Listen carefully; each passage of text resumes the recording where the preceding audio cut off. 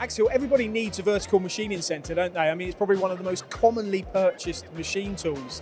Um, but you've tried to do something a little bit different here with this VC1150. Uh, what are you showing here at AMB? Yes, that was the target when designing a new generation of three-axis machining centers. We changed the complete design of the machine basically internally, which gives some advantage to the customer because you can find a lot of machine, three-axis machining centers on the market. One is cheaper than the other, but how can you convince the customer to have some advantage? Uh, we changed the design. Okay, so what have you changed? What are the key key uh, aspects? The main issue for the customer is floor space. They want a very compact machine uh, compared to the working envelope.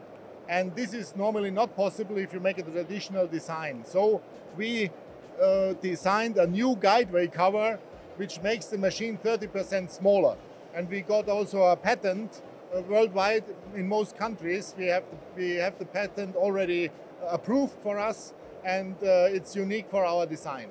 So I've got a bigger working envelope in a very con contained small footprint. Yes, uh, the table can move fully to the end of the inside working area and you don't need additional space on the end of each stroke with these uh, separate elements of guideway coverage. Okay, okay. is the same said, not the guideway coverage, but the, the, the y-axis y-axis and right x-axis. To the, right it, the way to the front. Yes, yes. The table can move much closer to the operator.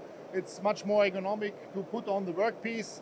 Uh, this is also one big advantage. Okay, now you mentioned about some key changes and key things you developed that are unique to you. Let's take those aside the machine itself, outside of that, you know, it's a congested market. There's a lot of options. What what do you offer with your machines that people should should uh, uh, like and look into? First of all, we offer uh, different versions of spindles according to the application of the customer.